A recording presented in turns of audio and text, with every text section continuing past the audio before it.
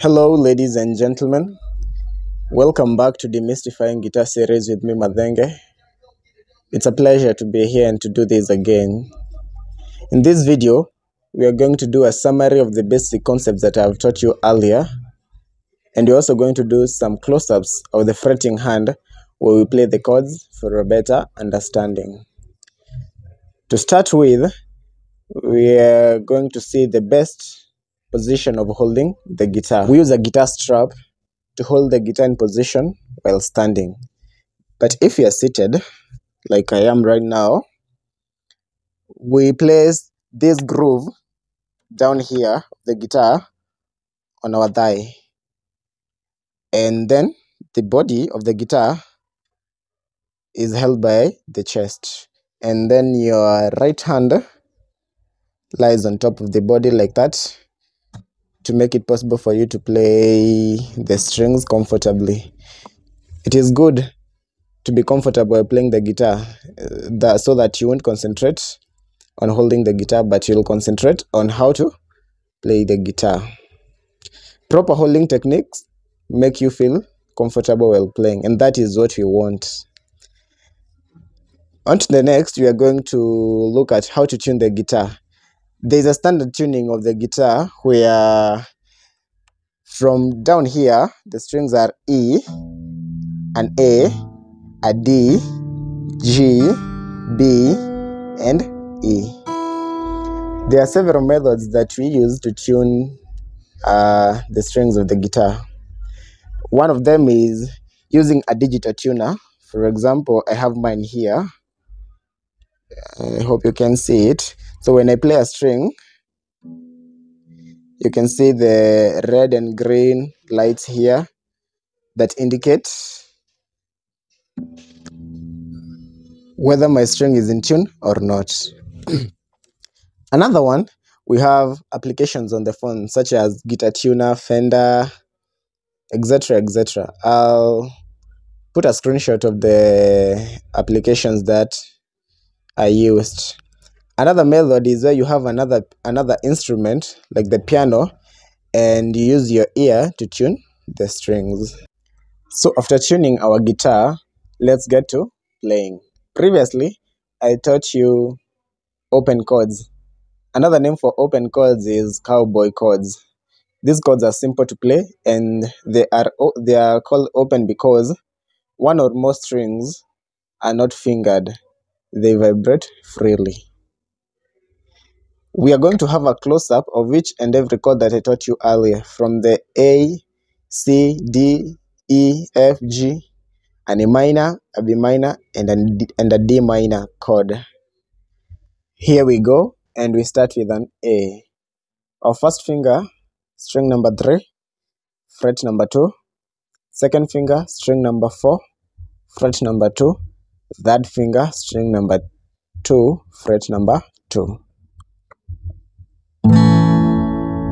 That's the sound of an A. We go to a C, first finger, string number two, fret number one. Second finger, string number four, fret number two. Third finger, string number five, fret number three. You strum from the fifth string, and that's your C chord. Uh, we go to a D chord. Your first finger, string number three, fret number 2 second finger, string number one, fret number two. And our second finger, uh, third finger, string number two, fret number three. And you strum from string number four. That's your D chord. You go to an E, first finger, string number three, fret number 1 second finger, string number five, fret number two.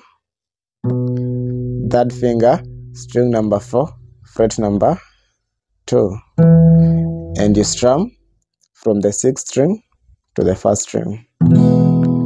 That's your E chord. We go to an F. An F, your first finger holds string number one and string number two, fret number one. Our second finger uh, string number 3 fret number 2 and our third finger string number 4 fret number 3 that's your F open chord.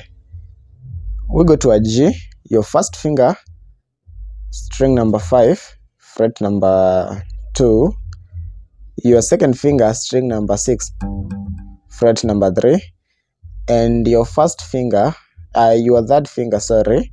Fret number 3 string number 1 there's another fashion of holding the G where your third finger holds string number 2 of the of the third fret and your pinky holds the first string of the same fret.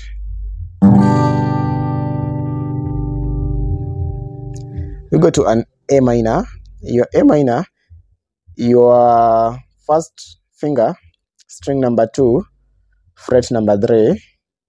your second finger string number four, fret number two, and your third finger string number three, fret number 2 and that's an A minor chord we go to a B minor. A B minor is not an open chord, it's a bar chord. And your first finger will bar the second fret.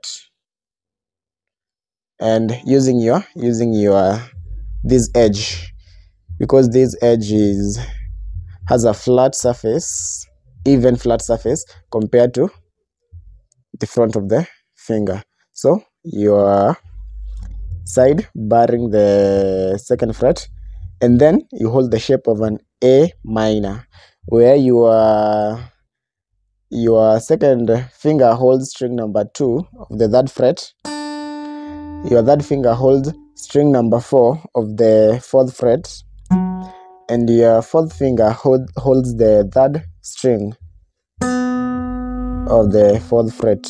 And all together we have a B minor. You strum from the fifth string downwards. That's our B minor chord. And last but not least, we have a D minor chord. Uh, we where our first finger holds on to string number one, fret number one. Second finger, string number three, fret number two, and our third finger string number 2 fret number 3 and then you strum from string number 4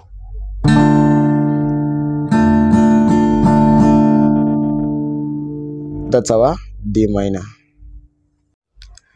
With those chords guitar learners you have the ability to play all songs in the world. So what I'm asking from you is practice understand those shapes so that when the lessons get a bit intense you'll have the basics with you right. Because a journey of a thousand miles start with one step. And this is the first step of you understanding these basics. Thank you for watching and i'll see you on the next one Bye bye.